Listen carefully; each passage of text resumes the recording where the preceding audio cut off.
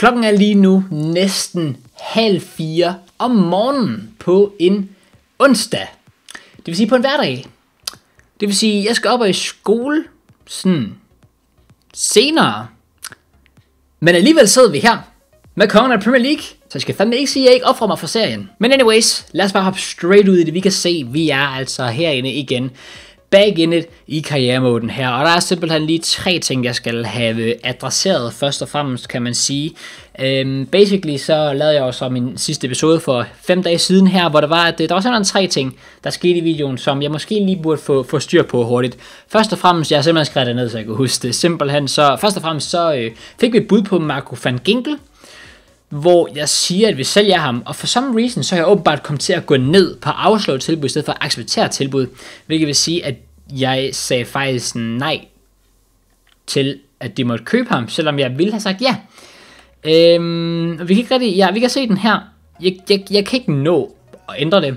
Så vi må bare håbe, der kommer et nyt tilbud på ham på et eller andet tidspunkt. En anden ting, jeg også lige skulle have kigget på, det er altså inde på det her spillerudvikling. Man kan gå ind på den her, øh, den her udviklingsplan, man kan lave for spillerne, hvor øh, der var nogen af jer, der, tak for det jo, til jer, der har, der har pointeret det, så har jeg simpelthen øh, ikke lige været opmærksom nok på nogle af de spillere, jeg har sat til og skulle, øh, hvad kan man sige, øh, ændre position. Først og fremmest så valgte vi jo at gøre det på Øh, jeg skal lige finde ham på Pulisic, valgte vi at gøre ham til en angriber, som vi kan se her. Øh, hvor, jeg tror det er her, du kan se, hvis du går ind på, på udviklingsplanen i hvert fald, så står der her, at det tager simpelthen 148 uger.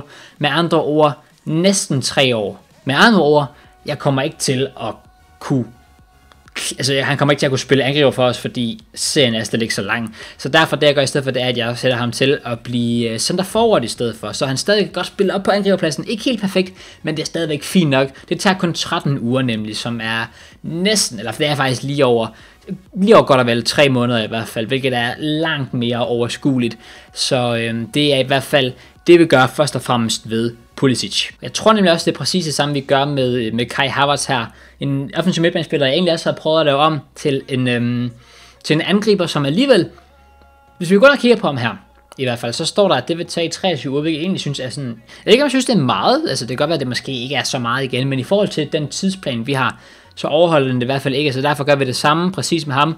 Laver om til en center forward i stedet for, som kun tager to uger. Og det var altså det, vi lige hurtigt skulle have ordnet her til at starte med. Der var også nogen, der kom med den mega geniale idé at lave Zakaria om til en CM fra en CDM. Og selvom der egentlig står, at hans andre positioner, han kan spille, allerede er CM. Problemet er bare, når man går ind og gør det, for some fucking reason, jeg synes slet ikke, det giver nogen mening. Jeg synes, det er ret voldsomt, det skal være så meget. Hvis man kigger på hans, øh, hans udviklingsplan, hvis du går hen på central midtbanespiller, altså CM, så står der 117 uger forventet til sluttidspunkt. Det er jo fuldstændig vanvittigt for at få lavet en spiller fra CDM om til CM. Jeg ved ikke, om det er bare mig, der, der, der er mærkelig, eller om der er noget, jeg har gjort forkert. Det kan også være, der er noget, jeg misser her. Fortæl mig det endelig, hvis det er i hvert fald, men øh, jeg kan ikke se, hvad det er. Men øh, i hvert fald, det gør heller ikke så meget. Øh, der er ikke så meget at komme efter her. Vi skal egentlig bare have simuleret videre her, øh, indtil vi har vores første kamp mod United. Og øh, selvfølgelig, det kan være, der kommer transfertilbud i mellemtiden også, og dem tager jeg selvfølgelig bare løbende. Det tog simpelthen en dag. Okay, fair nok. Øh, Real Sociedad med et bud på 14 millioner for Victor Moses. Ja, ja tak, siger jeg bare. Nu står jeg på at acceptere budet. Ja tak, det gør vi. Der er simpelthen ikke noget at komme efter det. Selvfølgelig 14 millioner, virkelig mange penge for ham. Lad os bare komme af med ham. Og ikke nok med det, så har vi altså også fået et bud på Jorginho fra Juventus er det simpelthen. Vi har modtaget bud på 45 millioner. Ikke dårligt. Problemet er bare sådan lidt... Altså, jeg har egentlig planer om, at Jorginho skal være en fin central del af vores hold. Der er ikke rigtig nogen grund til at sælge ham, så derfor siger jeg nej tak. Okay, se det her det er interessant. Vi har modtaget et tilbud på Rüdiger for 26,4 millioner fra Benfica, som er sådan lidt... Det er sgu ikke mange penge, og det er også egentlig under hans markedsværdi, kan jeg se. Og det er sådan lidt også, altså, Rüdiger nok vores, hvad kan man sige, altså jeg kommer nok primært til at køre Silva og sådan noget Sumar eller Rüdiger i hvert fald, så det vil være måske lidt dumt, lidt dumt at sælge Rüdiger her. Og her har vi lige fået et par nye mails, også først og fremmest, at Victor Moses blev solgt til Real Sociedad for 14 millioner, det vil sige, at vi har fået 10,5 millioner i transferbudgettet. Det er lækkert. Vi har også fået øh, simpelthen et ungdomsspillerrapport, og det er sådan lidt, ja, yeah, who really gives a shit. Øh, man kan sige, at jeg er lidt nødt til at gå op i det, fordi Øhm, der var de her mål, som vi havde sat inden, om at vi skulle, vi skulle signe en ungdomsspiller, så skulle vi give spilleren noget spilletid, eller sådan noget i den stil. Jeg kan ikke lige huske helt præcis, hvordan det fungerede. Men i hvert fald, øh, så tænker jeg, at det er nok en god idé lige at holde øje med dem her. Øh, først og fremmest ham her i hvert fald ser ud til at have et rimelig ok højt potentiale. Jeg ved simpelthen ikke, om man kan... Okay, man kan simpelthen gå ind her allerede. Wow, det er sygt nok egentlig. Det er allerede herfra også kan begynde at gøre sådan noget her. Det er, det er kæmpe, kæmpe stor fan af. Virkelig, virkelig fedt. Men i hvert fald, ja, vi skal lige holde øje med det fremover i hvert fald. Men, øh, men for nu, så, ja, så går det nok. Vi er simpelthen også... Øh, okay, Timo Werner blev skadet i tre dage til træning. Øh, okay, fair. Og vi har fået endnu et bud her på Barbara Rahman fra Mönchengladbach simpelthen på 8 millioner. Vi har egentlig også fået et bud allerede på Real Betis, som vi, har, som vi har sagt ja til. Der er så ikke det sket mere med den, så ja, igen, vi bliver bare ved med at sige ja her. Og vi har også modtaget et bud på Danny Drinkwater for 3 millioner fra Watford. Og igen, Drinkwater er også bare en af de spillere, vi bare skal af med hurtigst muligt. Celta Vigo havde budt på, men jeg mener, det var dem, hvor forhandlingerne brudt sammen, så hey. I mean, ja, der, der står faktisk, okay, der står faktisk også her, ej hvor fedt. Danny Drinkwater har afvist et skifte til Celta de Vigo, i det parterne ikke kunne nå til enighed om kontraktvilkårene. Det er fedt, øh, virkelig, virkelig fed detalje have der. Jamen, så lad os da håbe, at han kan nå til enighed med Watford i stedet for. Alright, mine damer og herrer, vi er altså ved at komme til det, den allerførste Premier League kamp i den her serie, og vi kan se, at vi har simpelthen mulighed for at deltage i pressemødet, og altså ja, det er ikke noget, jeg vil komme til at gøre øh, hele tiden. Jeg kan huske, at jeg diskuterede, eller ikke diskuterede, men, men vi snakkede om, i sidste serie, eller sidste sæson øh, af Kongerne Premier League, hvordan jeg skulle håndtere dem her, om jeg skulle tage det med hele tiden, eller kun for en stor kampe og sådan noget der. Vi ser lige på, hvad jeg gør i den her serie øh, her, men øh, lige for nu i hvert fald, fordi det er den første, så tager jeg selvfølgelig transfervinduet med, så vi hopper altså til det her. De euforiske Chelsea-fans håber, at holdet kan fortsætte det forrygende spil, som de har vist, siden du blev ansat. Hvordan kommer det fantastiske spil her i starten til at påvirke sammensætningen af truppen til den første betydningsfulde kamp? Alright, vi kan vælge mellem at svare, drengene skal bare fokusere på at vinde, vi arbejder hårdt hver dag, eller vores trup er sprængfyldt med kvalitet. Øhm, jeg vil sige, at øh, vi arbejder hårdt hver dag, det er sådan et godt, rigtig, rigtig fint øh, motiverende svar. Det giver vi. Forhåbentlig kan vi blive ved med at vinde. Vi arbejder hårdt på træningsbanen hver dag for at give os selv det bedst mulige udgangspunkt, og det kan man selvfølgelig ikke være i tvivl om. Det er et meget sådan standard svar. Kan holdet stå for presset og kvalificere sig til UEFA Champions League? Okay, her har jeg muligheden for at komme ud og være sådan lidt mere sådan kantet, lidt cocky. Øh, vi kan sige, at kvalifikationen er altafgørende, burde bestemt være muligt, eller presset hviler på os. Jeg vil sige, øh, jeg vil sige presset hviler på os. Det gør det helt bestemt. Kvalifikationen til Champions League er altafgørende for en klub af denne størrelse. Presset vil være der hele vejen fra sæsonen første kamp til den sidste, og det er sådan set også rigtigt nok. Der er ikke så meget at komme efter der. Altså, vi skal, vi, vi, altså presset er der, og, og vi skal ud og præstere denne sæson, og det kommer vi også til, uden tvivl. Findes afløseren for Alonso allerede i Chelsea-truppen? Tror du, at Reece kan udfylde tomrummet? Jeg elsker, at vi har sådan en venstreback, og de så kommer til at spørge, om en højreback kan afløse ham. Fair play, det kan jeg ikke sige så meget til. Øhm, det er hans chance for at blive en legende. Han har de nødvendige kvaliteter. Eller han bliver nødt til at arbejde hårdt. Igen her, sådan lidt neutralt svar, lidt motiverende svar, han bliver nødt til at arbejde hårdt. Jeg er sikker på, om, øh, om vi har brug for jeg er ikke sikker på, om vi har brug for en erstatning. James skal nok få chancen, men jeg forventer ikke, at han går direkte ind i startopstillingen. Han skal arbejde hårdt, hvis han skal udfylde tomrummet efter Alonso, og det er selvfølgelig også rigtigt nok. Tak, ikke flere spørgsmål i denne omgang. Let's go. Første pressemøde er altså vel overstået. Inden vi har på hele i kampen, har vi lige hurtigt fået en mail her om, at Barbara Rahman er blevet solgt til Mönchengladbach for 8 millioner pund, eller euro, det vil sige, at vi har fået 6 millioner euro i vores transferbudget. Og mine damer og herrer, så er vi altså kommet til det her. Vores allerførste Premier League kamp, vores allerførste vigtigste kamp i den her sæson her, det er altså mod Manchester United på Old Trafford. Og vores holdopstillingen frem mod kampen ser altså således ud, mere eller mindre man kan godt argumentere for, at nok er vores stærkeste holdopstilling. Vi har altså Kepa på kassen, Aspi, Silva, Sumar og Chilwell nede i forsvaret sammen med Kante, Shashinho, Kovacic på midtbanen. Ziyech han ligger så på den offensive midt, og så har vi altså Werner og Havertz helt oppe foran. Så ja, jeg har glædet mig til det her. Lad os komme i gang. Stærkt det der. Virkelig, virkelig godt brugt af Kante. Så kan vi køre et kontra her måske. Det er lige før, vi har den faktisk igen her. Okay, vi får den igennem til en Kai Havertz her. Vi mangler lidt nogen med. Jeg spiller godt, så får den her. Timo Werner. Oh, vi kommer faktisk igennem. Der er en mulighed. Der er Timo Werner første afslutning i kampen. Okay. Ah, det er godt spil det der. Oj, vi kommer faktisk igennem til en chance her. Timo Werner afslutter selv. Let's go, Timo Werner. Første Premier League mål i serien her, og også første mål fra Timo Werner. Let's go. Lille smule ærligt, vi kommer igennem der måske. Jeg har ikke lige rigtig set den, selv, at vi kommer igennem, men okay, fair nok. Det siger ikke mere sidst os. Let's go. Stopper altså op der, ligger når til højre skøjten og sparker den køligt over i det modsatte hjørne. Hjørnspark til United har de her nok den sidste chance, der kommer i første halvleg. Lad os se, om de kan få noget ud af den, eller om vi kan forsvare den. Får den væk i første omgang, og så burde der spille af. Ja tak, okay, lækkert. Første halvleg 1-0 til os, og ja, der har været de to chancer, der har været. Det er den, som vi har set. Øhm, ellers har det ikke været det helt store. Øhm, United har ikke rigtig prøvet på noget, og ja, vi, vi tager det stille og roligt, når vi har bolden, og vi får en 1 så er ikke nogen, nogen, grund til at, at presse yderligere, der er heller ikke nogen grund til at sidde og pille ved alt det her, fordi jeg føler faktisk helt ærligt, at det fungerer virkelig, virkelig godt, og det jeg godt kan lide at se, det er, at spillerne prøver at se den, altså, de der plusser, der er rundt omkring, på grund af deres skarphed, Øhm, den er helt i top på, hos rigtig mange af dem. Du kan se sådan nogen som for eksempel forsvaret Aspilicueta har 91 skarphed og 93 til Harvards, 93 til, øh, til øh, Werner. Det må man sige, at de to i hvert fald virkelig, virkelig skarpe på foran. Så øh, ja, det kører som det skal. Så er der sgu mulighed til Man United her. Rashford, han er bare stukket af sted, og ja, kommer rigtig, rigtig lang tid efter, og chancen der. Oh my days, hvordan blev den chance så stor? Hvordan blev den der chance så stor? Chilwell står og glor, han misser simpelthen bolden, og Kepa han står også og glor bagefter, så kender vi ham, kan man sige. Wow, det var, det var tæt på United kom med en scoring ud af ingenting der. Så kan vi køre her og spille Quetta med bolden her. Lægger den i dybden til en Hakim Ziyech. Står der 2-0 der, det gør der simpelthen ikke. Sikke en redning af De Gea. 82 minutter er altså spillet her, og noget der, noget, der sker så ofte, som pisser mig sindssygt meget af, mere end det burde, det er det der med, at der er spillet en, der, der, der er spillet en times tid, øh, der vælger jeg så at sige, okay, jeg burde nok lave nogle udskiftninger, men det jeg så siger i stedet for, det er, okay, jeg, jeg tænker, okay, jeg venter lige til næste gang, at bolden rører ud og spil med at lave de, øh, de udskiftninger der i stedet for, og det der så sker, det er, ja, den næste, den, altså den næste gang bolden er ude af banen, er det selvfølgelig fucking 82 minutter. Så ja, det, var, det er meget sent, der kommer tre udskiftninger her, men uh, hey, bedre sent end aldrig, I guess. Vi skal have nogle udskiftninger i hvert fald. Det er rigtig vigtigt, at vi får sparet meget på spillerne. Øhm, spørgsmålet er, Werner han er mest træt. Så øhm, jeg tænker, vi skal have en Tammy Abraham ind op foran. Jeg kører egentlig bare alle tre udskiftninger nu. Vi kører en Hudson Odoi i stedet for Sieg. Og så kører vi en Zakaria i stedet for Kortic.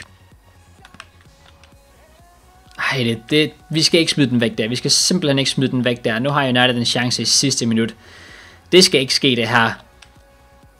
Og er der appel for, der bliver ikke dømt i hvert fald. Chilwell, den skal væk, den der, den skal helt ud af kommunen, og det bliver den altså også. Og vi slår altså United 1-0 i vores første kamp af sæsonen. Let's fucking go. Simpelthen en så vigtig sejr. Super, super lækkert. Også fordi, at for det første er det selvfølgelig en god, god måde, at, eller øh, ja, det er selvfølgelig altid en, en god ting at starte sæsonen op med, med en sejr, men ikke mindst også fordi, jeg egentlig synes, vi spiller rigtig, rigtig fint, har okay styr på dem, og United har kun én chance i hele kampen, som, som, er, som er stor. Øhm, og udover det, altså igen, vi har fuldstændig styr på dem hele kampen igennem, og vi ser også i Timo Werners base igen her, rigtig, rigtig lækkert fin vending der, og afslutningen den fejler absolut ingenting overhovedet. Så vi hopper altså ind i et interview efter kampen, og igen bliver det ligesom med, med pressemøderne, hvor jeg kører det, kommer ikke til at tage det med hver gang. Jeg kommer til at tage det med, hvis jeg føler for det nogle gange, måske hvis det er en stor kamp eller sådan noget, eller hvis det giver mening i hvert fald at, at tage med, bare lige så at vi er, vi er klar på den i hvert fald. Men vi stiller os op her. Første spørgsmål. Hvor glad er du for din første sejr som Chelsea-træner? Selvfølgelig fik jeg være med at trække på smilbåndet der. Selvfølgelig en fantastisk start. Drengene giver altid 100%. Vi har mere at byde på. Der er stadig masser at gøre. Jeg vil sige, der er stadig masser at gøre endnu. Det var et godt resultat, men vi kan ikke tillade os at blive revet med. Der er stadig masser at gøre, hvis vi skal slutte sæsonen, som vi ønsker, hvilket jeg er fuldstændig enig i. Altså lad os, øh, lad os, lad os endelig ikke øh, kom alt for, altså, kom alt for højt op efter den her, den her sejr her. Altså, det er en kamp, der er masser af arbejde, der venter forud endnu, men, men selvfølgelig kan man ikke undgå at indrømme, at det er en rigtig, rigtig, rigtig god start. I afgjorde reelt kampen allerede inden pausen.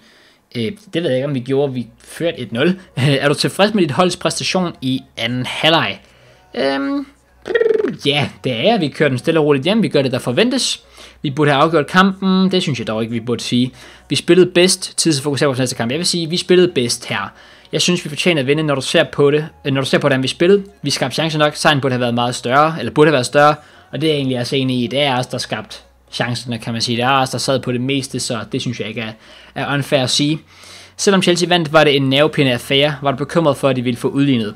Jeg elsker, at journalisten først spørger, om eller hun først siger, at kampen egentlig var afgjort inden pausen, og så bagefter siger hun, at det var en nervepirrende affære. Det er sådan lidt... Ja, der er i hvert fald en ting, de kan have ændret på her i FIFA 21, det er, at journalisterne stadig er nogle fucking retards. Sådan er det. Øhm, var du, om jeg var bekymret for, at de ville få udlignet? Øhm, nej, ikke et sekund. Ja, et kort øjeblik. Kampen kunne være gået begge veje. Jeg vil sige nej, ikke et sekund. Lad os lade være med at stå her og, og altså, lege, lege diplomatisk eller sådan noget der. Nej, på ingen måde. Jeg vidste, vi ville køre den hjem. Det er altid dejligt at slå dem, og selvfølgelig er der ingen tvivl om det. Tak. Ikke et spørgsmål i den omgang. Selv tak. Vi har simpelthen modtaget et bud her på Andreas Christensen fra Benfica på 26 millioner, hvilket er en okay sum penge for AC, og AC er heller ikke en spiller, jeg kommer til at bruge vanvittigt meget. Problemet er bare, at jeg kommer til at bruge ham. Øhm, tænker jeg i hvert fald, fordi vi har en Thiago Silva, vi har Sumar, vi har Rüdiger, Øhm, så har vi AC selvfølgelig her, så har vi Tomori, og jeg regner med, at jeg kan få lånt Tomori ud, men spørgsmålet er, hvis vi ikke kan det, om AC måske skulle sælges. Jeg synes, det er svært at sige lige nu, men lige for nu i hvert fald, så, så siger jeg nej tak. Vi har også lige fået en, øh, en besked her fra vores assistenttræner simpelthen, der skriver, Hej Krause, jeg skriver for at fortælle dig, at vi er tilfredse med, hvordan Kai Havertz fortsætter med at udvikle sig. Vi tror, at han er ved at være klar til at skifte plads og blive afprøvet som center forward, som vi har diskuteret. Hans tekniske og fitnessmæssige profil er blevet forbedret så meget, at han nu kan bruges som center forward, selvom det ikke er hans foretrukne position. Vi bruger ham naturligvis kun på pladsen til træning og i kamp, hvis det er en løsning, som du er interesseret i. Let's fucking go, let's fucking go. Vi kan altså se, center forward står der deroppe. Kæmpe fan af det. Vi har modtaget endnu et bud på Danny Drinkwater den her gang. Okay, på 2,8 mil fra Sheffield United. Og Ja, jeg burde ikke rigtig spille mere tid på det. Lad os, øh, lad os acceptere det. Vi har fået endnu spændende tilbud det her, og det her det er noget, jeg er kæmpestor fan af. Det er simpelthen øh, Alaves, Deportivo, Deportivo Alaves, der er interesseret i at lege Billy Gilmore i to år. Øhm, og Billy Gilmore er en spiller, jeg rigtig gerne vil lege ud, fordi han er et ung talent, han kan blive til noget rigtig, rigtig stort, og selvfølgelig har han brug for spilletid, hvilket vi ikke kan give ham. Derfor siger jeg altså meget lidt elegant, ja tak. Hey, her er vi igen. Vi har modtaget bud på Marco van Ginkel fra Olympique Lyon, som er næsten det samme som det Frankfurt vil give. Og den her gang, der siger vi ja tak. Vi kan se her, at vi også lige modtaget hurtigt det bud på Emerson her. Og jeg vil sige, problemet er, at... Øh, hvad hedder det, Marcos Alonso, som var vores anden, hvad man kan sige, vores reserve venstreback, ham har vi altså solgt til Everton, så der er ikke rigtig nogen grund til, at vi skal lade os af med Emerson, fordi det vil ligesom bare være dumt, så vil vi kun have en venstreback tilbage, så derfor siger jeg altså nej tak her. Og således er vi altså nået til, hvad der bliver den sidste kamp i den her episode her, hvad der også kommer til at blive det sidste, der sker i den her episode her. Det er altså vores hjemmekamp mod Brighton her, som bliver vores sæsonåbner på Stamford Bridge simpelthen. Hjemmebane, første hjemmebanekamp i år. Og ja, vi skal vel egentlig bare ind og have sat en holdopstilling. Og frem mod den her kamp er der altså sket en masse ændringer på vores hold, som vi kan se her. Vi kører så simpelthen med Kepa på kassen selvfølgelig, så har vi altså smidt Reece James ud på højre bakken, vi har sat Rüdiger ind på centerbakken sammen med Chilwell og Silva, som selvfølgelig er normale. Kante spiller på, på defensiv midtbanen. Jeg har stadigvæk Kovacic og Jorginho på, på de to centrale midtbanepladser. Jeg overvejer til Zakaria ind, men vi venter lige med ham i hvert fald. Mason Mount får lov til at vise, hvad han kan på den offensive midtbane, og så har vi altså Werner og Havertz op foran. Og ikke nok med det, så har jeg altså også en masse øh, bænkspillere, som er sådan lidt de yngre spillere, rotationsspillere osv., som måske også kan komme i spil i hvert fald. Så vi har altså kampen mod Brighton, som sagt her, og man kan sige, ja, jeg spiller på verdensklasse den her kamp her. Det er bare lige for at teste af, for at se, hvad der skal ske, og overveje, at man måske burde sætte den op på, på legendarisk, i hvert fald mod hold som netop Brighton fremover. Uh, det skal være vores, det der. Ja tak, det er det også. Timo Werner. Dybden her til Werner, eller til, til Havertz hedder det. Timo Werner igen. Afslutningen på mål der. Ah, skidt. Ah, det er lækkert, det der kan til. Hold kæft, hvor er det lækkert. Dribler videre med ham her. Har vi nogen hjælp med? Der kommer en Jorginho her. Trækker ind i banen. Åh. Nå, der blev simpelthen fløjt af. Okay. Wow, sikke en uh, kedelig første halvleg. Er du sindssygt, mand. Der har været en afslutning. Det var den, I så fra Timo Werner, som ikke var i nærheden af målet. Det skal dog siges, vi sidder benhårdt på den her kamp. Altså prøv at gå ind og se her. Boldbesiddelsen der Brighton har ikke engang været i nærheden af vores mål. Der har været rigtig mange chancer, og det, det er så også lidt min egen skyld. Og jeg har ikke taget dem med selvfølgelig, fordi det blev aldrig til afslutninger. Men der har været så mange gange, hvor jeg har haft en mulighed for at spille den på tværs, og egentlig spille en, egentlig bare skabe en stor mulighed. Men jeg vælger den forkerte beslutning gang på gang. Øh, det skal jeg simpelthen, øh, det skal jeg simpelthen lade være med, hvis det er, jeg vil, ja, sjovt nok score mål. så øh, man kan sige, ændringer. Måske vi burde gøre det Måske vi burde sætte en, en C igen i stedet for en Mason Mount. Jeg ved, det er hårdt, men Mount han har ikke rigtig skarpheden. Jeg kan se, skarpheden er 13. Det er ret voldsomt. Ret voldsomt. Øhm, ja. Så måske vi bare burde sætte Siegen i stedet for. Vi har et frisbak her, og jeg tror ikke engang rigtig, jeg ved ikke om Siegen er god til at tage frisbak. Han er 78, det er måske ikke ligefrem det bedste. Jeg ved ikke om vi burde prøve den alligevel, bare for, bare for hyggens skyld. Om vi kan placere den sådan her på hjørnet et eller andet sted måske. Det er, nok, ah, det er godt nok svært også. Føler jeg rigtig, jeg kan få fat på den? Nej, jeg kunne ikke rigtig få ramme på den. Vi prøver den alligevel. Sige her afslutningen, som er okay, bliver chippet over mål. Ikke dumt. 74 minutter spillet her, det er simpelthen for vildt, vi ikke har scoret endnu. Altså, der skal, jeg, jeg forstår det ikke rigtig, hvordan det kan sig gøre egentlig. Øhm, ikke godt nok i hvert fald. Jeg tænker, vi skal lave et par udskiftninger, og den første må vel næsten være, at vi... Ja, problemet er faktisk, jeg ved ikke engang, hvad fanden det skal være. Skal vi her det? Jeg ved honestly ikke engang, hvad fuck det skal være. Der er ikke nogen, hvor jeg tænker, det er en, det er en opgradering, udover Zakaria, men han er ikke rigtig offensiv. I, I guess det er det eneste, vi kan gøre, fordi Tam Abraham, I'm sorry, hver gang jeg bruger ham, han er forfærdelig. Han er simpelthen forfærdelig endgame. Øhm, og Hudson O'Doy, han passer ikke rigtig ind. Så det er sådan lidt... Den er, den er sgu lidt svær egentlig. Måske vi prøver, prøver, burde prøve at få AC ind i stedet for en, en Rydiger måske, fordi Rydiger er ved, ved pænt træt, og hans skarphed er helt i bund. Øh, AC er sådan set også lav, men øh, ja, sådan er det. Ej, nej, nej, nej, nej. Nej, nej, det er dumt det der. Vi smider den væk. Fuldstændig uprovokeret. Det er AC.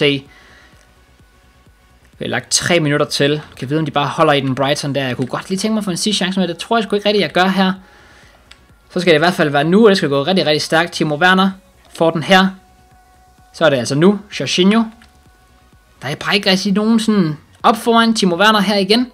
Kommer faktisk igennem Timo Werner. Okay. Hvem har vi på kanten af feltet her? Kan ikke rigtig... Skal have den ind over? Det skal være nu. Der sker ikke noget. Fuck sake, vi spiller 0-0 mod Brighton her. Are you fucking kidding me? Nej, hvor er det katastrofalt.